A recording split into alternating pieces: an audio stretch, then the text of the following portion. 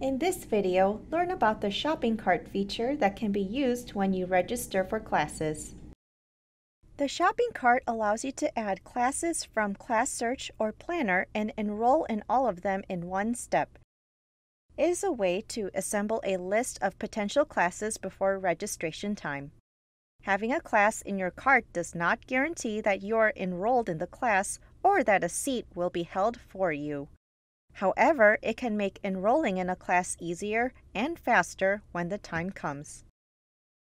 To access your shopping cart, click the shopping cart link on the left side of the screen. Before enrolling classes in your shopping cart, you can check for potential enrollment errors like instructor consent by clicking the Validate button at the upper right of the screen. It is a valuable tool to assist with your registration planning. Validation will not check against time conflicts or enrollment holds. If you do have an enrollment hold, you will be able to add classes to your shopping cart and validate, but not enroll.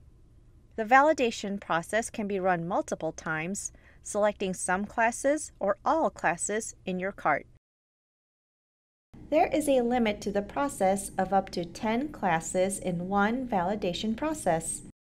If you are looking to validate more than 10 classes at a time, divide the list of classes into groups and run the validation process on each group.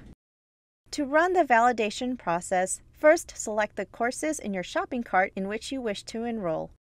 Click the Validate button. At this step, any potential enrollment errors will be displayed.